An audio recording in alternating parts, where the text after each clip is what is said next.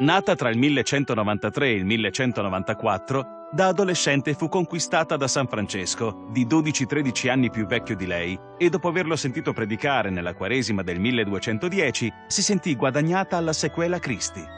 Nella notte della Domenica delle Palme dell'anno seguente fuggì dalla casa paterna e, accompagnata dalla zia Bianca e da Pacifica di Guelfuccio, raggiunse la Porziuncola, come era chiamata allora la chiesetta di Santa Maria degli Angeli, dove era attesa da Francesco e dai suoi frati.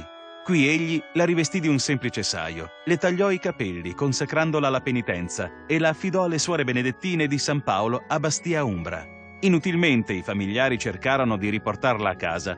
Più tardi, su consiglio di Francesco, si rifugiò nella chiesetta di San Damiano che, sotto la protezione del vescovo Guido, diventò la casa madre delle povere donne recluse di San Damiano e, dopo la morte della santa, delle Clarisse. Qui Chiara visse per 42 anni, quasi sempre malata, seguita da molte sue amiche e parenti, la madre ortolana, la zia Bianca, le sorelle Agnese e Beatrice, fedele alla scelta di rigorosa povertà che era per lei l'unico modo per preservare una sua specifica identità.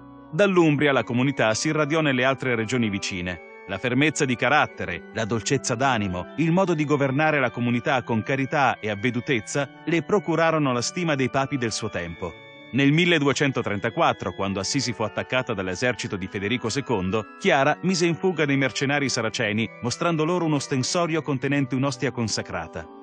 Morì l'11 agosto 1253 e alle sue esequie partecipò Innocenzo IV con vari esponenti della curia romana. Fu canonizzata nell'ottobre 1255. Nel 1958 Pio XII la proclamò patrona della televisione, in ricordo del miracolo di cui fu protagonista la santa, che, inferma nel letto, poté vedere miracolosamente la liturgia del Natale celebrata nella chiesa di San Francesco.